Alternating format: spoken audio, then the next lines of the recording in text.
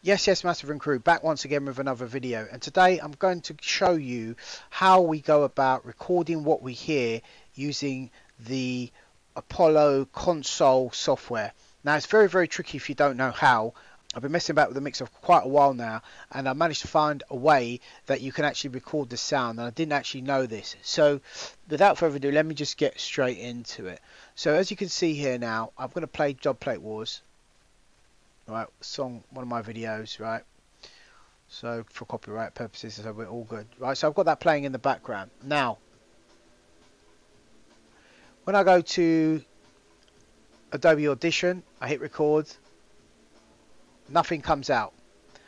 And no matter what you do in the preferences usually you would have to set up the hardware audio hardware. You got to make sure obviously it's got UAD Apollo set up on your audio hardware. Let me just uh, stop that video for a minute.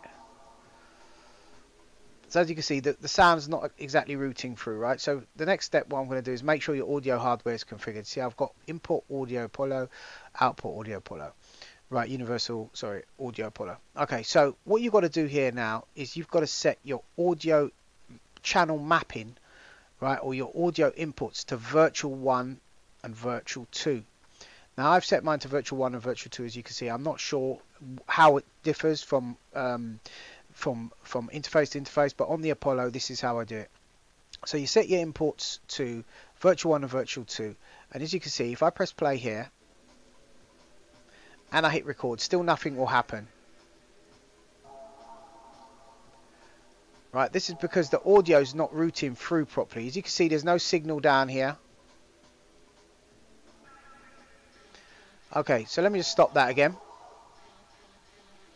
Okay, so the way you get around this now is you go up to your Macintosh Searchlight, Finder, whatever you call it, and you type Audio MIDI Setup.